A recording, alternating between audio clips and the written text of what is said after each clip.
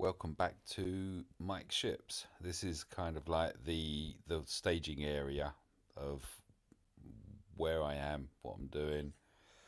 Um, where I am and what I'm doing is bringing endurance into the game.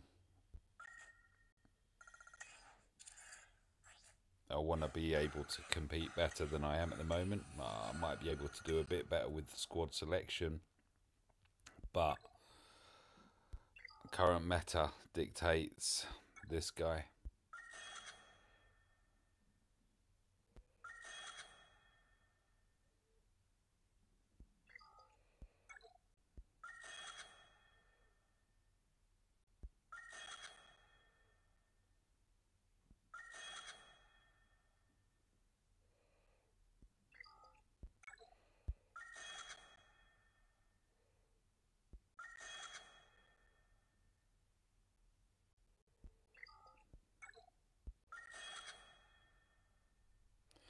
I've been so reluctant to do this. I just so wanted my dark side to be able to be competitive and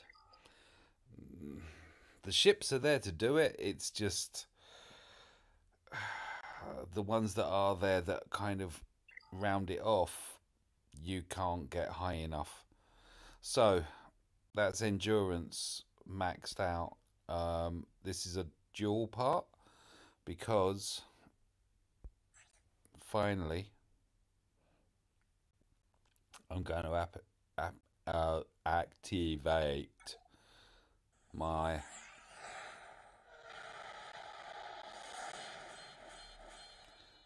tie advanced confirm enhance. Ouch bang.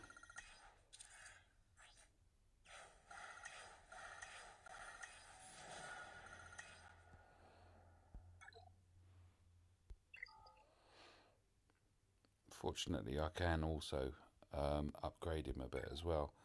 So, do I have enough? I never know on these. I haven't checked to see what there is actually available in GG actually on chips. I should do.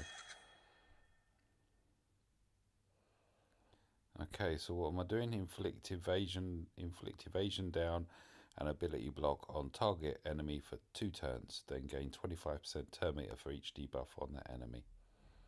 Cool. Deal physical damage to target enemy and inflict target lock for two turns. This attack can't be resisted or evaded. Target lock. Inflict dam inflict two oh, two damage over time effects for three turns. Right.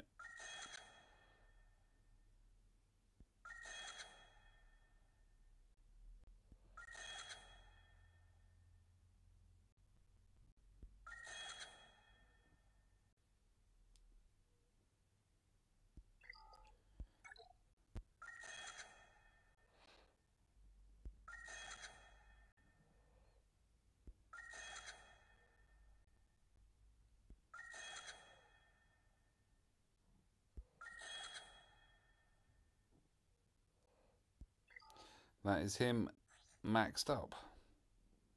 808. 808 state. Wow. Wow. 56,000 in health. Just under 14,000 in protection. 154 on speed. It's a Vader, not a Zeta. And I could probably put some... Um, deploy some gear. In fact, I'm pretty sure I can. However, what I do know I can do is I can now upgrade this ship.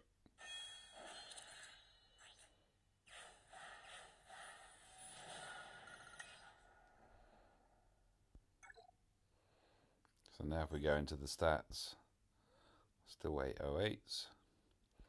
Health's increased to 60,000, 15,000 on protection. Speed's jumped a bit there, didn't it? 158, nice. Right. So that is endurance and Where is he? My tie advanced and my tie advanced. All done.